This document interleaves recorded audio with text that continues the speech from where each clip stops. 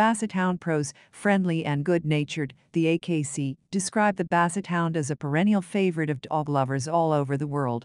The breed is perhaps one of the most easily identifiable due to their charming appearance. Basset Hounds tend to be friendly dogs that will get along with new people and new dogs. This is a good thing seeing as the Basset Hound's appearance and overall popularity will usually result in lots of questions when you go for a walk. It's a good idea to take your Basset Hound pup to socialization classes from a young age to improve your chances of living with a well balanced dog. Independent Basset Hounds are independent dogs that can be strong willed and do things their own way. Their independence can be a good thing because they're unlikely to be a stereotypical Velcro dog that basically acts as your shadow.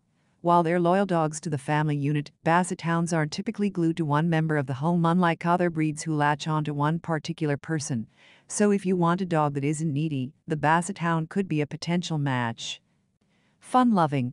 If you're looking for a goofy canine companion, the Basset Hound has a reputation for being a bit of a dork. They can be quite silly at times, but the breed is sweet. The AKC described their mournful eyes and wrinkled brows looking like a sad clown. However, the Basset Hound breed is sure to make you laugh as you share your day to day life with your four legged friend. Family pets, the AKC give the Basset Hound breed 3 stars out of 5 for being affectionate with the family, but 5 stars out of 5 for being good with young children. They're described as being mild and agreeable at home. They're usually tolerant of children, but parents should take their manners for granted. Basset Hound owners should monitor their dog around children at all times because accidents can happen. With a fun-loving personality matched with by impressive stamina, the Basset Hound can keep pace in a home with children. Basset Hound cons, stubborn. While Basset Hounds tend to be independent dogs, this can spill over into stubbornness. These dogs were bred to follow a trail and think independently in pursuit of a target, so Basset Hounds won't necessarily listen to instruction if they aren't well trained. It's a constant process too. Basset Hound owners will find value in continuing to follow a training regimen with their Bloodhound to maintain their discipline and obedience. During our research on the breed, the word stubborn cropped up constantly. It appears stubborn is an understatement with this particular breed.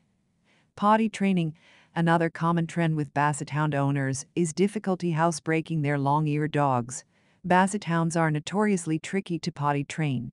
It requires a lot of effort on the part of the pet parents to persevere. Howling.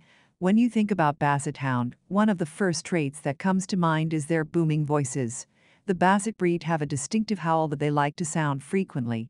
The AKC describe their voice as loud ringing voice. This can be a problem if you live in an apartment or city dwelling with neighbors close by. Drooling and slobbering. Basset hounds will drool and slobber a lot, so it's something prospective owners will need to consider. They'll usually drool whenever they're eating their food or drinking water. Basset hounds will drool if they follow a scent. You'll notice on your daily walks that they'll drool a lot, so you'll need to stand back if they go for a head shake.